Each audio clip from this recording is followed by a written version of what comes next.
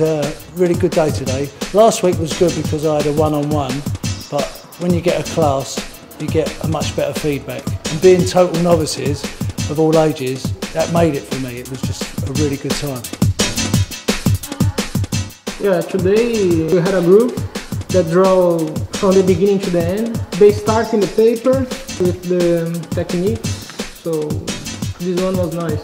And here another experimental draw, so I think it was cool. I suppose this is to help people keep out of trouble and stuff like that, and get them interested in stuff, ready for the future I suppose. But it's also nice to reach out to these communities, especially Chelmsford, it's our hometown.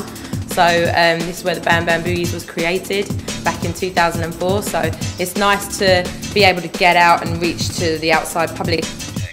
Dealing with the graffiti art, the dancing, uh, builds on their self-esteem and their confidence, making them kind of realise that there's opportunities out there if they want to kind of you know seize them.